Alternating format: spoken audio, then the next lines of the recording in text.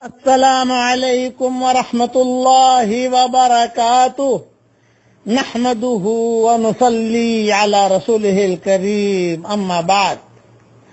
آج کا سبق سن لیجیے۔ سبق نمبر سکس نائن نائن۔ پہلے ایک روحانی وظیفہ بتاتا ہوں، پھر ایک حدیث سناتا ہوں۔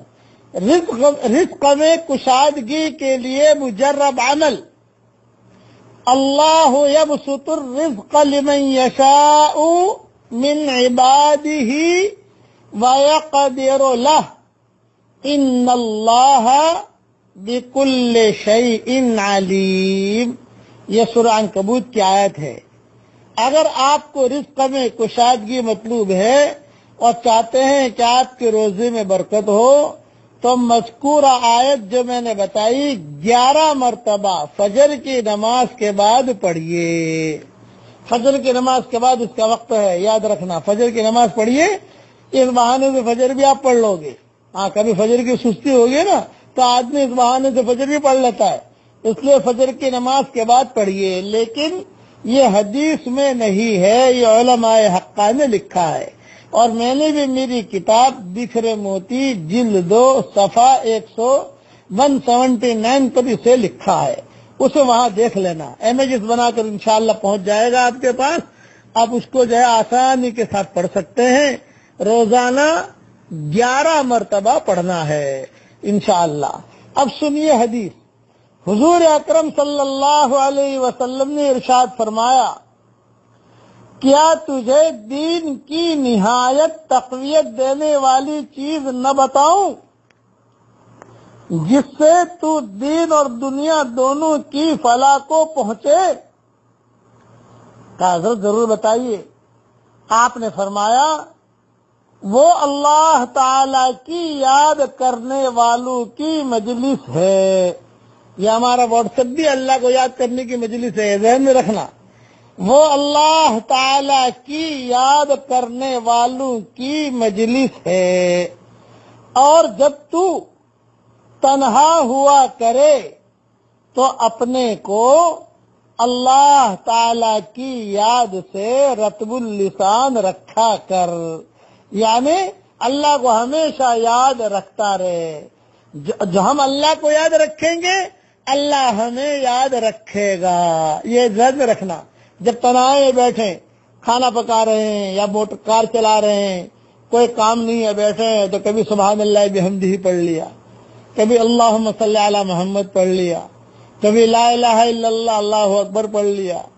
کبھی جو ہے سبحان اللہ، لا الہ الا اللہ الحمد پڑھ لیا۔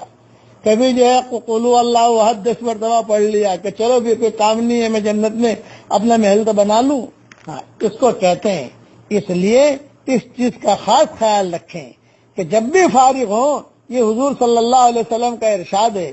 اور دوسرا ارشاد یہ ہے کہ حضور صلی اللہ علیہ وسلم نے فرمایا، جب تم جنت کے باغوں میں گزرا کرو تو کچھ حاصل بھی کر لیا کرو۔ صحابہ نے عرض کیا، یا رسول اللہ صلی اللہ علیہ وسلم، جنت کے باغ کیا چیز ہیں؟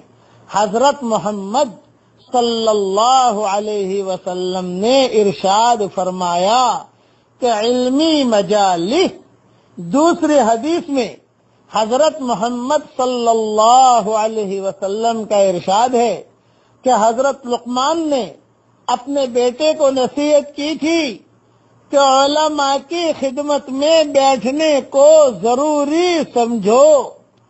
اور حکم آئے امت کے ارشادات کو غور سے سنا کرو کہ حق تعالی شان ہوں، حکمت کے نور سے مردہ دلوں کو ایسے زندہ فرماتے ہیں کہ جیسے مردہ زمین کو مسلا دھار بارش سے۔ اس لیے ہماری یہ سبق بھی بہت دھیان سے سنا کرو۔ اور دھیان سے اللہ کے رسول کی بات سنو، کچھ نہ کچھ دل میں بات اترتی رہے گی، اترتی رہے گی، فائدہ دے گی انشاءاللہ۔ آج تو میری رائے یہ ہے کہ دس مرتبہ سورہ اخلاص پڑھ لیجیے جنت میں محل بن جائے گا انشاءاللہ۔ محرم میں، محرم کے مہینے میں سبق ملے گا۔ اچھا ہے، سال کے شروع میں ہی جنت میں ہم، میں اپنا محل بنا لیں انشاءاللہ۔ ہاں تو دس مرتبہ سورہ اخلاص پڑھ لیجیے۔ اب جو ہماری مائیں بہنیں ہیں، اگر نہ پڑھ سکیں تو شوہر جو ہے وہ محل بنا لے اور یہ ہماری مائیں بہنیں جو ہے جنت میں کھجور کا درخت لگا لیں سبحان اللہ و بحمدی سبحان اللہ و بحمدی سبحان اللہ و بحمدی جتنے درخت لگانے ہو، لگا لے۔ اور اللہ تعالی ہم سب کو ان محلوں میں اللہ داخل بھی فرمائے۔ اور ان درختوں کے سائے میں اللہ ہم سب کو جمع بھی فرمائے۔ اور جنت الفردوس میں حضور صلی اللہ علیہ وسلم کا پڑوس اللہ ہم سب کو نصیب فرمائے۔ آمین آمین۔ والسلام علیکم ورحمۃ اللہ وبرکاتہ۔ واخر دعوانا ان الحمد للہ رب العالمین۔